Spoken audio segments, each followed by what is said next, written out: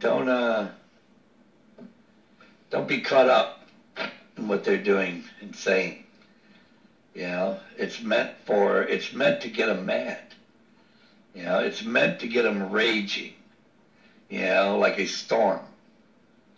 Remember, like Christ was sleeping in the boat during the storm.